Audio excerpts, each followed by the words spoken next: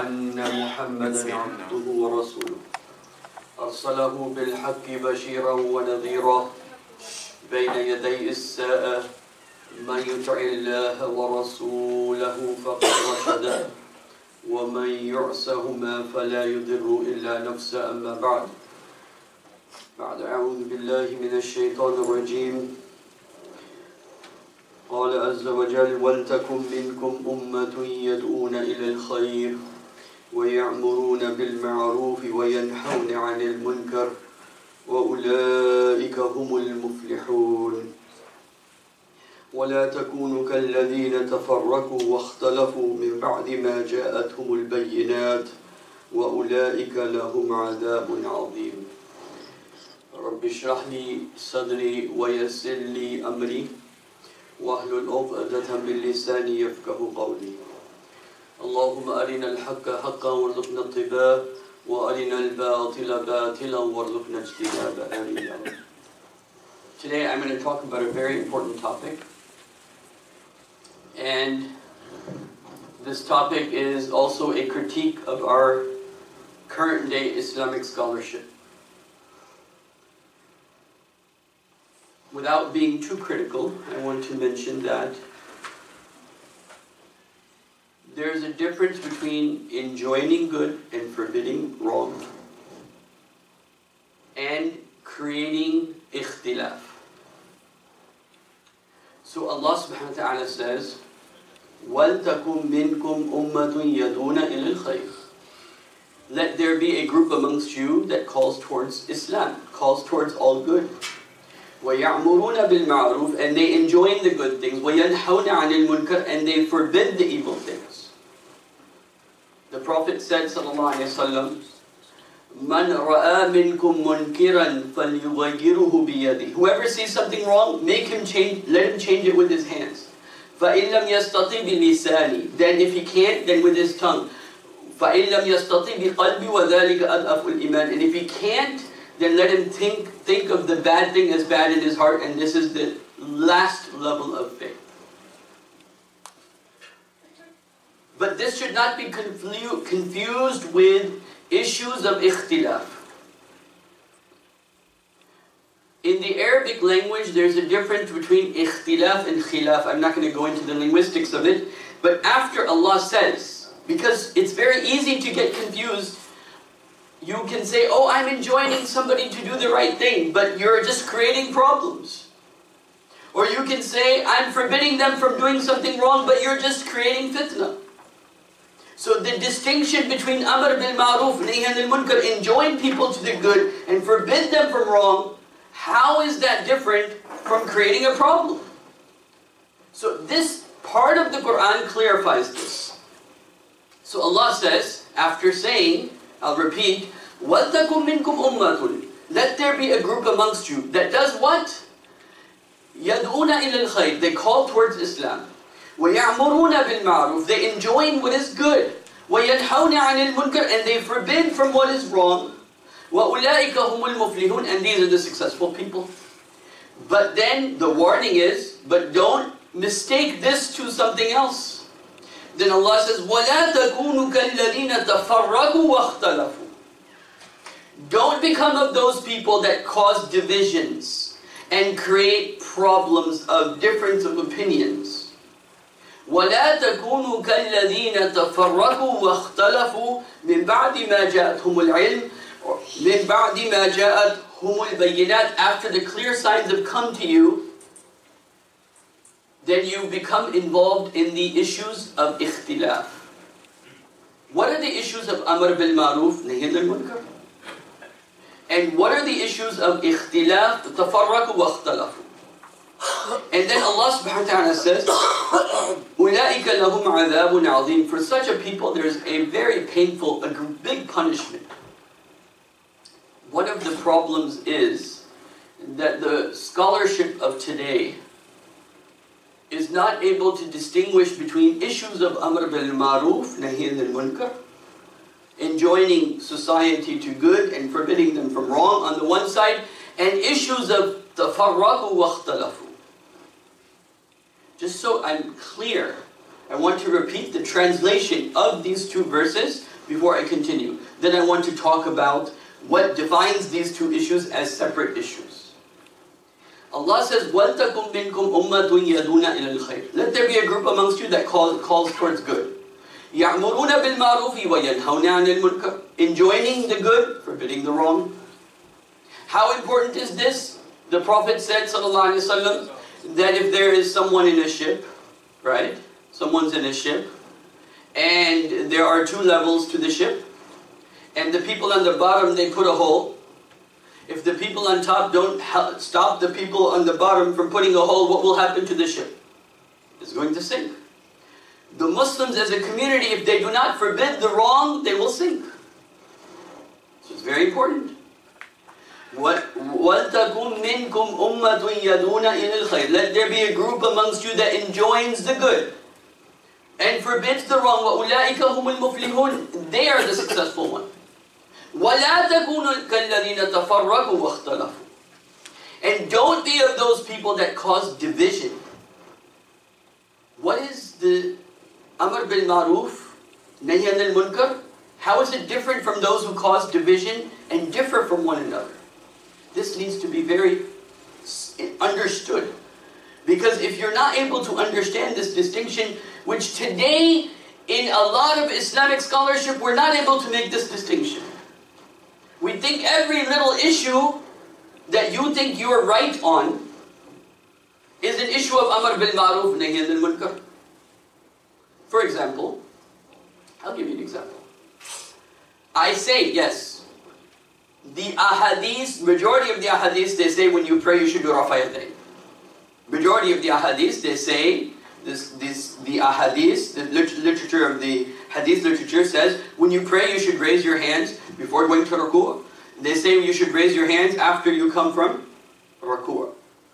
But if this becomes your basis of I'm on the truth because I do this, and you create this as a source of division between you and the others, then you're not doing Amr bil Ma'ruf Nahi anil Munkar, you're doing what tafarraqu wa Amr bil Ma'ruf Nahi anil Munkar is for which issues? It is for the big sins. It's for what? The big sins and the big good deeds. And this has to also be understood. As a society, as a society, we don't want to polish the society to remove every little sin. Allah says three times in the Quran, وَاجْتَنِبُوا كَبَائِرًا مِنَ الْإِثْمِ وَالْفَوَاحِشَ Stay away from the big sins. From the big sins. If you stay, if you keep society away from the big sins, like for example murder, magic, alcohol, disobedience to the parents, etc., etc. These are the big sins. If you call society to in, in be good to your parents, this is Amar bil Maruf, If you in, enjoin society to the big issues that are mentioned in Quran, this is Amar bil Maruf, and when you get involved in issues of authenticity, asliya, I'm, I, me, and my sheikh, our understanding, we're going to Jannah, we don't know about the rest of you. You ever seen that? This is ikhtilaf. وَلَا تَكُونُوا كَالَّذِينَ تَفَرَّقُوا وَاخْتَلَفُوا Don't be like those people that cause division. Because then they cause division based upon one issue or another issue or a set of issues and those issues, then they define these people. And they are not big issues, they're the smaller issues. And when this happens, Allah's punishment comes upon the Muslims. We're not concerned about the revival of Islam. We're not concerned about how can we show Islam as the true path to the majority of the world. We're not concerned about how are we as, what type of Islam are we leaving for the next generation. If we're not concerned about the youth, if we're not concerned about the big issues of the Muslims, and you're fighting over the smaller issues in which there's already difference of opinion from the beginning. You're fighting over this is how we pray. No, no, no, this is how we pray. No, no, no, this is the right way to do this. No, no, no, this is the right way to do this.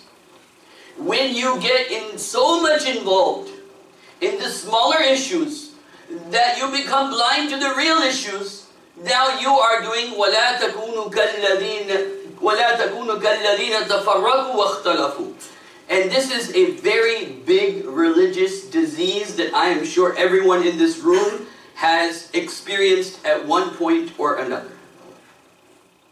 This is one of the biggest problems of our scholars that they are not, the Islamic scholarship is not able to do what we call fiqh al-awliyat. They don't have a fiqh in understanding of priorities. What are the big issues and what are the small issues? What are the issues that are, if I agree with one opinion, I'll pray that way. But it, I will not, uh, because there's other opinions, I will not demean the other issues. I will not demean the other opinions. I will not belittle the other opinions. I will not say that my fiqh is right over your fiqh, your understanding of Islam at a personal level, and demean you. That is a very big problem. So, then also comes the question. Now, let me redefine this.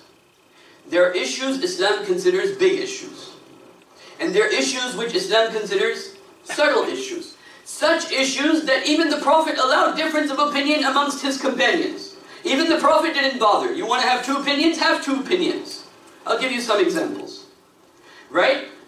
The Prophet said, Sallallahu Alaihi Wasallam, and I've mentioned this before, but I'm mentioning this today because it's just a reminder for all of us.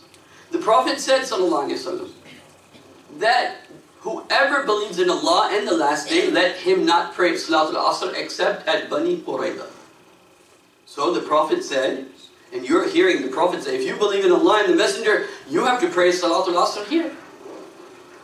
Well, now the companions are going, and the time for Asr is leaving, it's finishing. And Allah says in Quran, إِنَّ الصَّلَاةَ كَانَ عَلَى الْمُؤْمِنِينَ كِتَابًا مَوْقُوتًا the prayers are a definite timing. So the time is going, you have to pray. And the Prophet said, if you believe in Allah and His Messenger, you have to pray there. What are you going to do? So some of the companions said, no, Quran says this. We have to pray in the time. So they prayed at that time. The others said, no, no, no. The Prophet said, don't pray till you reach there. So they prayed when they reached there. When they came to the Prophet, the Prophet said, both of you are right. Because this was not a big issue in the bigger scheme of the things. It was if now it wasn't like one group of the Sahaba started saying to the other group of the Sahaba, see, we're right, you're wrong. We have the right knowledge of Islam, you have the wrong knowledge of Islam. Another example. The Prophet said, wasallam, the, their two companions were traveling. Two companions were traveling. And they had no water. So they both did tayammum and prayed.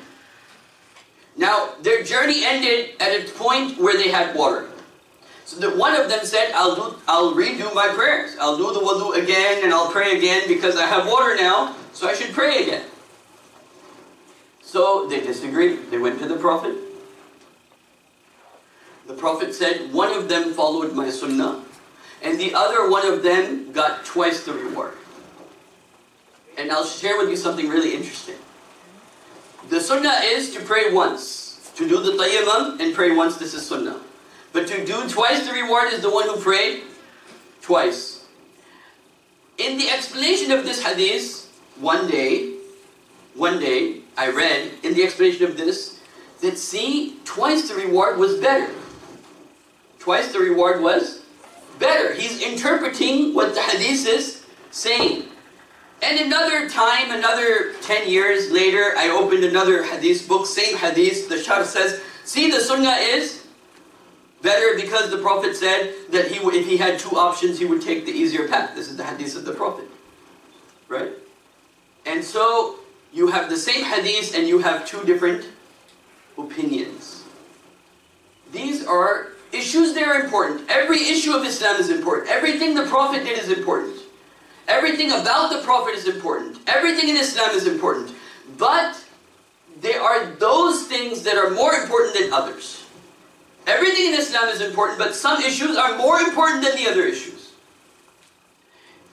And to create division upon smaller issues, to create division amongst Muslims on what? The smaller issues. This is what happens. We get lost in the smaller issues and don't look at the bigger picture. We don't look at, okay, we are Muslims, we're minorities here, we have to make our brotherhood work. No, we're not going to look, we're going to look at the small nitpicking. We're going to see, oh, this brother doesn't pray this way, so then I'm not going to pray at this masjid. This is وَلَا تَكُونُوا كَالَّذِينَ وَلَا تَكُونُوا كَالَّذِينَ تَفَرَّقُوا وَاخْتَلَفُوا you're using a small issue to create division. And division is a bigger sin than what? Than that issue that you're making an issue. Right? So, again, for the people that came later, this is what I'm talking about. Time is running out. I'll mention this point and then I'll continue. Allah says, let there be a group amongst you that brings people to Islam, shows them Islam. يَدْعُونَ إِلَى الْخَيْرِ Brings them to all good. Solve the problems of humanity like the Prophet did. Say, why are you killing this child girl for no reason? Why are you doing gambling? Why are you drinking alcohol? These are the issues that society, this is Amr bin Ma'ruf Nahi al Munkar. Call towards which is best, enjoying good and forbidding. وَأُولَٰئِكَ هُمُ الْمُفْلِحُونَ They are the successful people. Bring out the big issues of society and deal with them. And don't be, then Allah says, and differentiate that from what? Then Allah says, وَلَا تَكُونُوا كَالَّذِينَ تَفَرَّقُوا وَاخْتَلَفُوا Enjoining good and forbidding evil is not the smaller issues. Enjoining good and forbidding evil is the big issues. And then Allah says, don't be of those people who get lost in division amongst one another and differing with one another. For them is a painful punishment, a big punishment. Inshallah, I'll continue in my second khutbah. أقول قولي هذا أستغفر الله لي ولكم ولسائر المسلمين والمسلمات